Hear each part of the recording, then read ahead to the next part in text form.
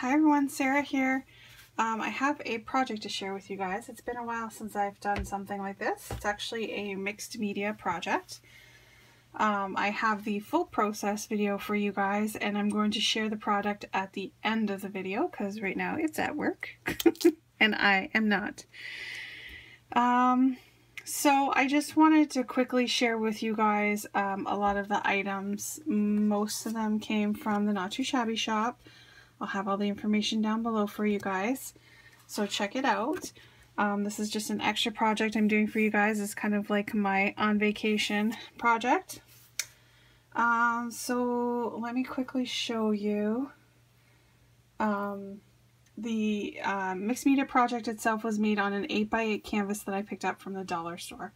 Nothing fancy, just a plain 8x8 canvas. I didn't prime it or anything. Um, I just immediately started working on it. So for the stamp set, I used Mermazing by MFT Stamps, and these were images that I had already stamped out and colored up with Copic markers, so I just decided to place them on this project. For the dies that I used, um, one of them is from the Frantic Stamper. It's the Seaweed and an Enemy. Anemone.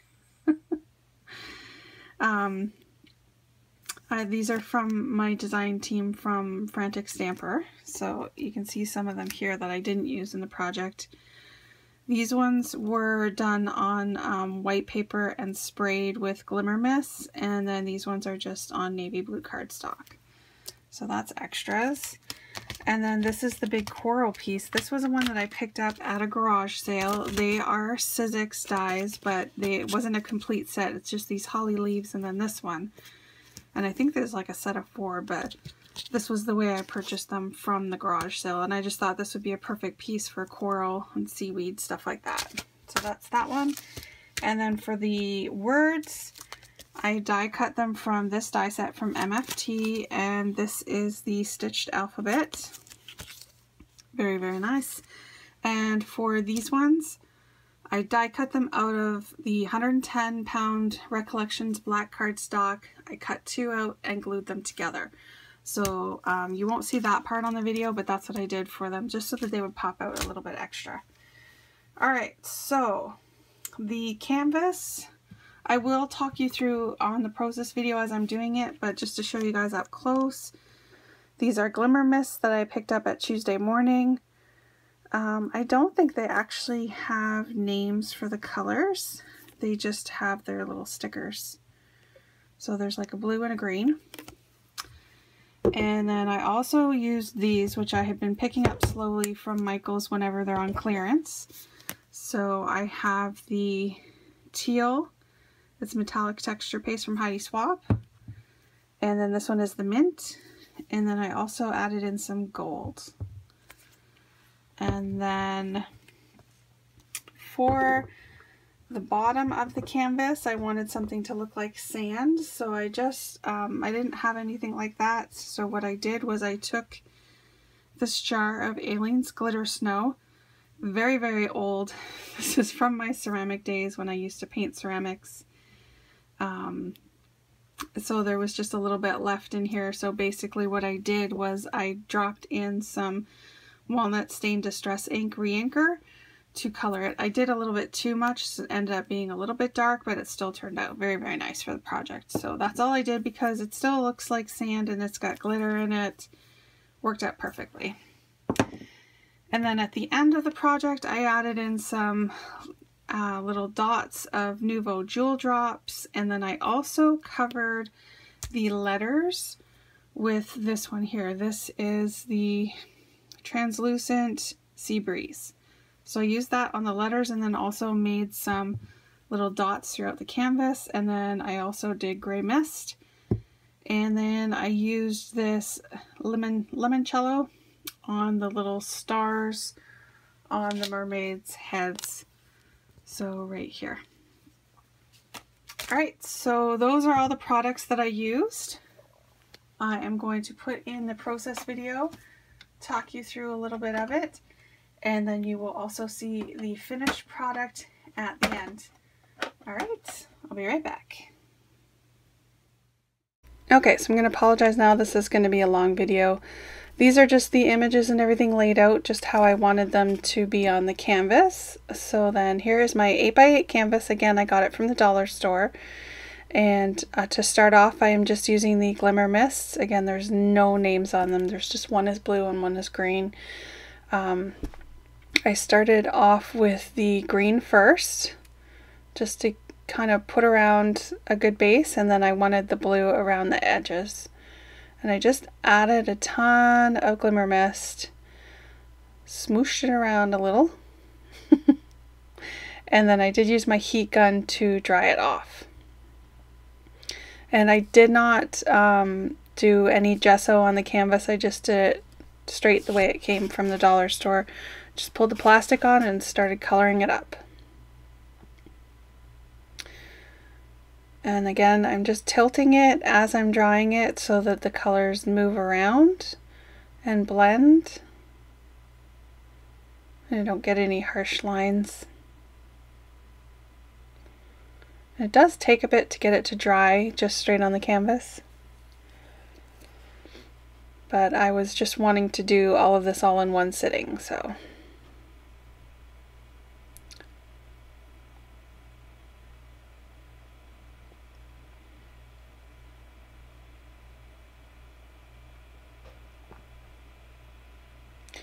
can see the shimmer really show as it starts to dry.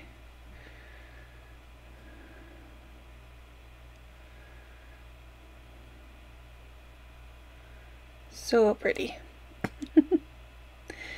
Alright, so the next I'm bringing out the, um, the texture paste from Heidi Swapp and I just used a little spreader tool that I have. It's just from Michaels from the mixed media art items and I just um, squeezed out a little bit, not a ton, um, in different spots and then just spread it back and forth with my spreader. And then just added each color separately, doing the same thing.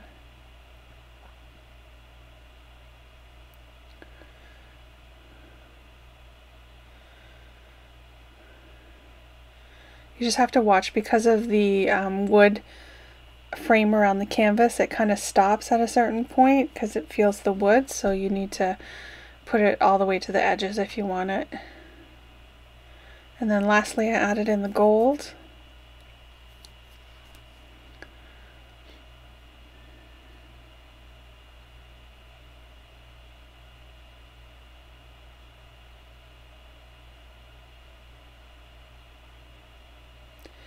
And I did dry it off with the heat tool. Um, you really shouldn't heat up texture paste too much because then it does bubble, but I did want it to be a little bit textury on it.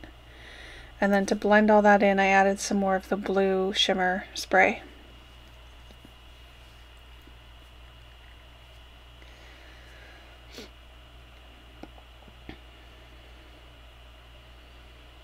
Just trying to clean as I went.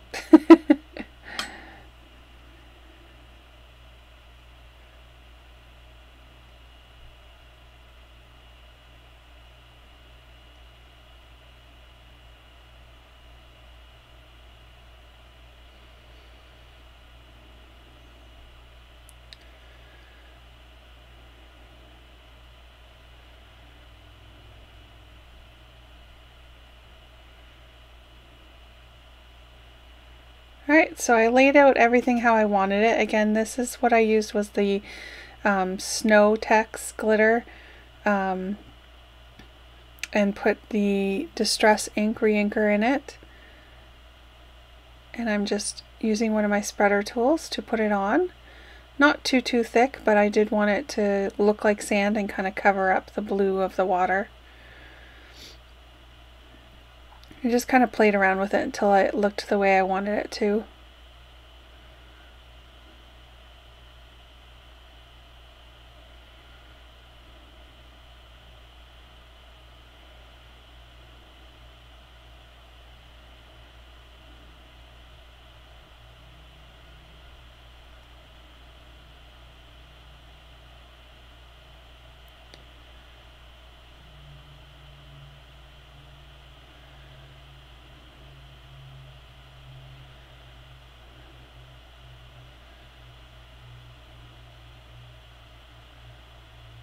Get a little bit of texture, I just did dabbed it up and down a little bit.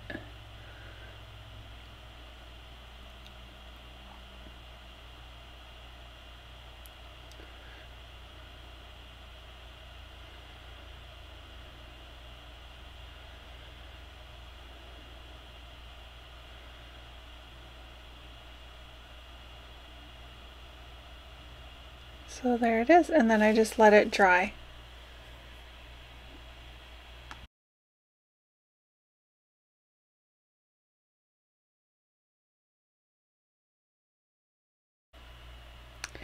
Okay, so I let it dry, but um, it was a little bit wet still when I put in the um, the image of the rock because I wanted to push it down in so that the sand smooshed out around it. And I am putting everything on my canvas with the multi medium matte um, from Ranger. That way, any if anything smooshes out, it, uh, it will dry clear. This one die cut I forgot to show in the beginning of the video. This is also a Frantic Stamper die cut. It's the um, Sunken Ship. Very, very cool. I did already have this one colored up and um, was on a, a, very plain card and I pulled it off because I really wanted to use it in this, um, in this canvas. So again, just multi medium matte and pushing everything down. It wasn't all totally flat. There were some pieces of the coral that are sticking up.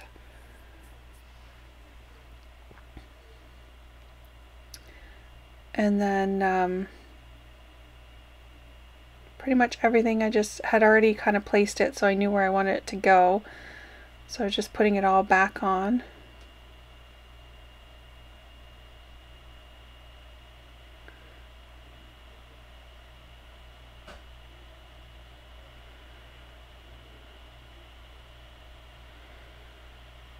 And I wanted this one to look like she was holding the little shell that came with the stamps. It just fits perfectly in her hand, so.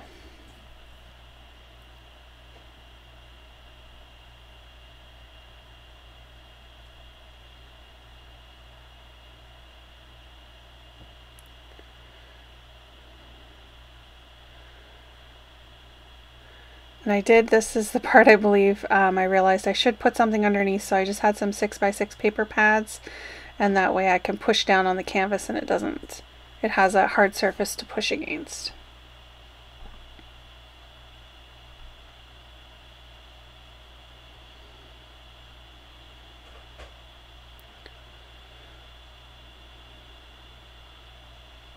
And all of these images were colored with Copic markers and then some glitter was added in with the Spectrum Noir sparkle pens that are from Jamie's shop from Not Too Shabby Shop.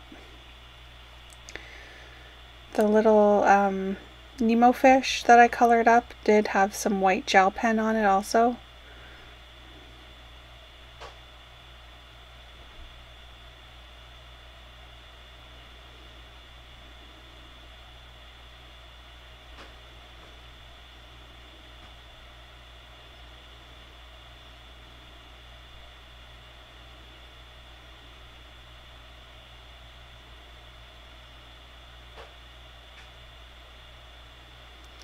And then the last mermaid, I did use some foam tape because she's sitting up on top of the rock. So I just put foam tape on the back of her um, so that it would look like it's sitting on top. And I did still put some multi medium matte on the foam tape just because of all the glimmer, shimmer mist, and texture paste on the canvas. I wanted to make sure that it stuck really well.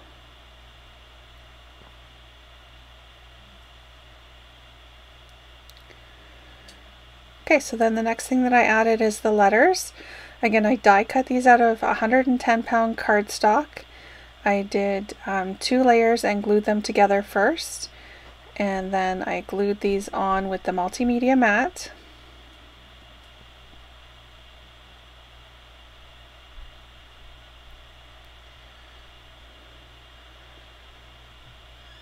Thought I lost my eye for a little bit, but I found it.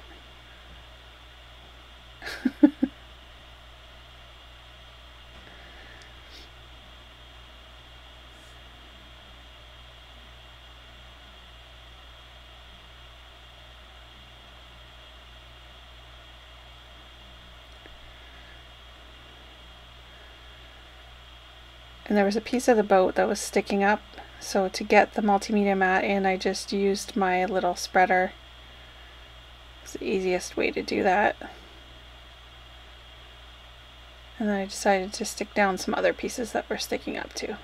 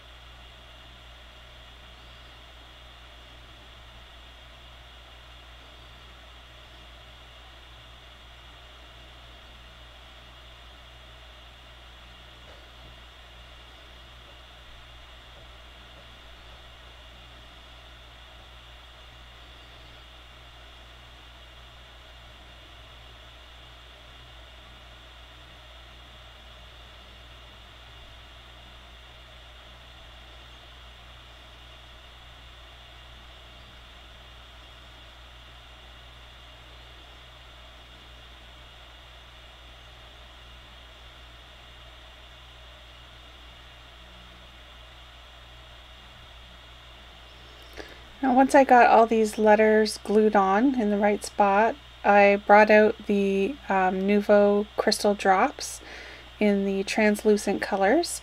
I did show which colors I used at the beginning of the video and basically what I did was I filled in um, the letters, the on vacation letters, because they were just matte black and I didn't want them to just, I wanted them to stand out a little bit nicer and not just a matte black cardstock. So to make them kind of blend in with the water, I used the clear blue translucent um, Nuvo crystal drops and made them nice and shiny. And then I added in some other dots with the Nuvo crystal drops throughout the canvas and also added um, off camera I believe the yellow onto the stars in their hair just so that they would stand out a little bit um, a little bit nicer. I did have the um, Spectrum Noir glitter pen on the stars, but I just wanted them to stand out a little bit more from the hair because the hair also has the glitter in it too. Alright, so um, you can watch the rest of this. I will insert a photo of the canvas if you want to stop it so that you can see. And I'll also post some pictures on Instagram to share with you guys. Alright, hope everybody has a great week. Um, please leave a comment, subscribe, and I will see you in about a week and a half. Alright, bye.